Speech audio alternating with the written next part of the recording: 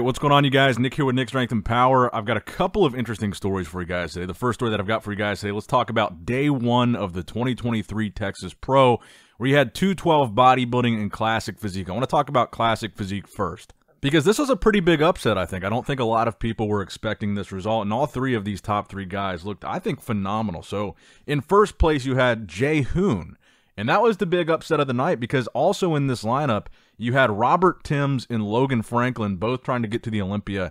And I don't think either one of them really looked off here. From what I saw, Logan was in pretty good shape. Robert Timms, it's the same thing that he always runs into. His legs are a little bit undersized, and I think that's what really let him down. Uh, but the fact that he his conditioning was insane. Robert Timms looked amazing. You can see these pictures here. I mean, this guy has some of the best bicep peaks I think that I've ever seen. Really good midsection, really good abs. Conditioning was on point, but I think it was just the lower body at the end of the day. Uh, but he looked so good, it still gave him the edge over Logan Franklin, who I think has a little bit better balanced physique. He's got better wheels than Robert. Um, I think his conditioning was slightly behind Robert Timms, but overall, really interesting result here. Jay Hoon looked incredible, the winner of the show. And it looks like Robert Timms and Logan Franklin both are going to have to continue to compete to try to qualify if they want to get to that Olympia stage this year. But that was your classic physique result for the 2023 Texas Pro. Now, next up in the news, let's talk about 212 here. This is one of the most exciting 212 shows I've seen in a long time this Texas Pro is really turning out to uh, really deliver on everything that we expected. And we haven't even seen men's open bodybuilding yet. That's not until tomorrow.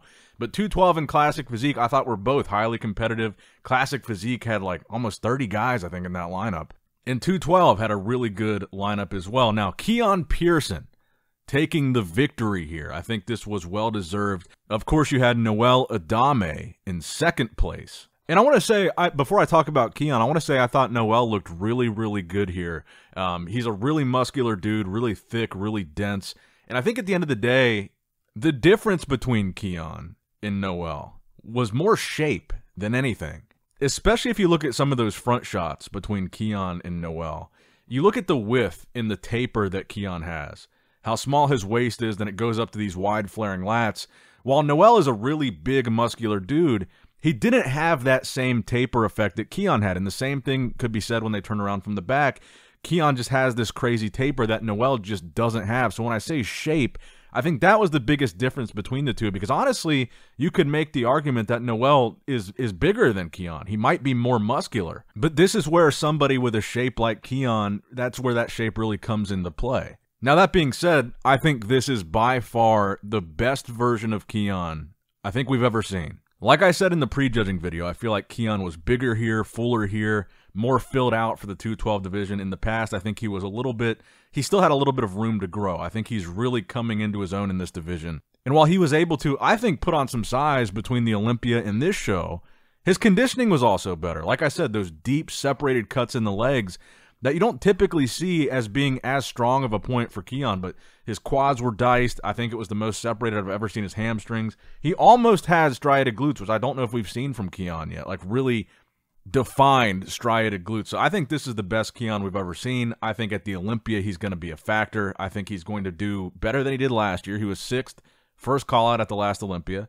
I really think that Keone will be no less than top three at this year's 212 Mr. Olympia. And while I think Keone was on point here, I still think there's going to be a little bit of room to make up on conditioning when he's going up against a guy like Shaun Clarida because Shaun Clarida is one of the most dangerous conditioned guys there is. So if Keone just improves that conditioning slightly and brings a package similar to this with the same fullness, with the same roundness, without sacrificing that size, I think Keone can be a serious contender for the title this year. Now, also, I want to say I do see all the comments talking about Keone's midsection. He has this separation in the middle of his abs. And I will say, I noticed it too. So I hear you guys. I see it. But this is something that Keone has always had. He's always had this separation in the center of his abs his entire career. I just think now, here, that he's bigger, it might look more evident. Uh, but I, it's nothing new. He's always had this genetic split in his abs. I just think it looked a little bit more obvious here. But I don't think it's because his waist is getting bigger. If you if you look at him hit those shots like the front double bicep, his waist doesn't look like it's increased one inch. It still looks crazy small. So I think it just could be that we're seeing a bigger version of Keone, and maybe he was more well fed for this show um, to bring this rounded, fuller look. And maybe that made the split look a little bit more obvious, but I, I really didn't see it as a problem for him here because in the poses, like I said, the front double bicep, for example, his waist is tapered and controlled, and I don't think the midsection looks bad in the actual poses.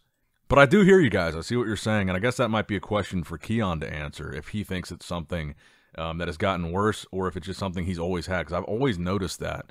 But I, I will agree with you guys. It was noticeable here. I agree. But even with that, I still think this was the best version of Keone we've ever seen, and I think he's. I just can't wait to see this guy at the Olympia. Now, next up in the news, we got a rare physique update from Hadi Choopan, which to me looks like it is probably recent. Right now, we're 11 weeks out from the 2023 Mr. Olympia.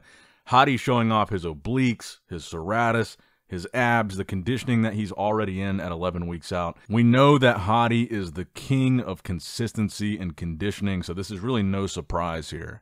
And I'm not sure that we've seen anybody else that's currently qualified for the Olympia at 11 weeks out, other than guys that have competed really recently um, have this same level of detail in their midsection yet. The Nick Walkers, the Derek Lunsfords, the Samson Daudas, the guys that are going to be in that conversation with Hadi, um, I think that Hadi is ahead, and I'm not surprised because I expect him to probably have the best conditioning on stage that day. But anyway, I can't say I'm super surprised to see Hadi in shape, to see him with this kind of detail. Um, but it is the rare treat that we get a physique update from him, so I wanted to talk about it in today's video. Now, next up in the news, we've got a physique update from Brett Wilkin at 11 weeks out from the Olympia. And this would be what I would consider to be probably the best physique update that I've seen from Brett, the most impressive at least. To me, he looks significantly bigger than the last time that we saw him on stage. And it looks like he took this time off and utilized it well as far as putting on some quality off-season size because to me, he looks crazy big here. I mean, if you put this physique update side by side with another mass monster, Nick Walker, another freak in his own right, I think they look pretty comparable both at 11 weeks out, both in really good lighting, both white guys with really round, full upper bodies. I think it's an interesting comparison, and I think it's a favorable one for Brett, which is saying a lot considering that Nick Walker was top three at the Olympia.